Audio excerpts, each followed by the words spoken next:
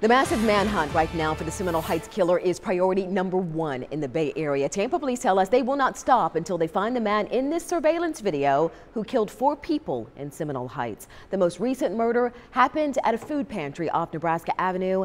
It's where the latest victim, six-year-old Ronald Felton, was volunteering. It's just a heartbreaking situation, but we do have our Melissa Mahadeo joining us live there to explain what is going on at that kitchen today. Good morning, Melissa.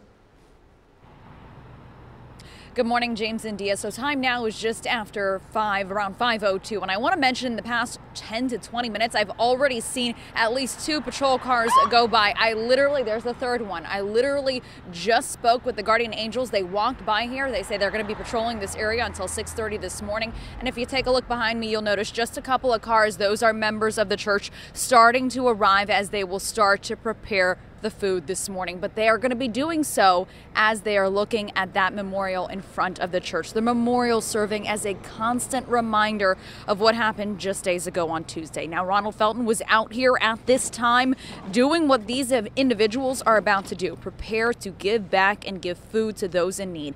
That is when he was shot and killed from behind. Police saying that they believe this man did it. They say this is the same man we showed you a month ago, spotted near the death of Benjamin. Benjamin Mitchell not far away. Both times he was spotted in surveillance video.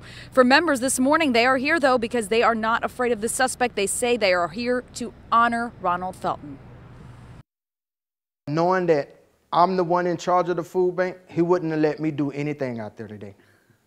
the rest of the volunteers, oh, he'd have directed them, do this, do that, do it this way, do it that way. But me, myself, he wouldn't have let me do anything. Now, as I mentioned, there is a strong police presence out here this morning as they continue to drive by, but members are urging the public and other members as well do not come out here until the sun arises. You don't need to do so because this food pantry does not open up until 7:30 in the morning. So if you intend on coming out here to get food or to help out wait until the sun starts to rise. For right now reporting in Seminole Heights I'm Melissa Mahadeo ABC Action News